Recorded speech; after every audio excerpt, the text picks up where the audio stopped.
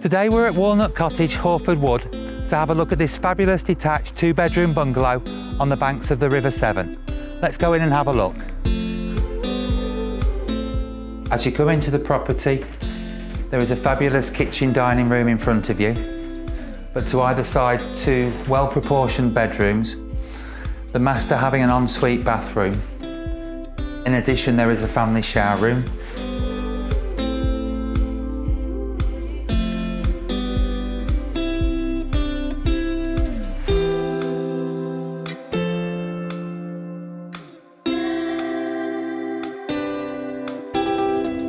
The lounge is fitted with a log burner and has large patio doors opening again onto the decked balcony with views over the River Severn.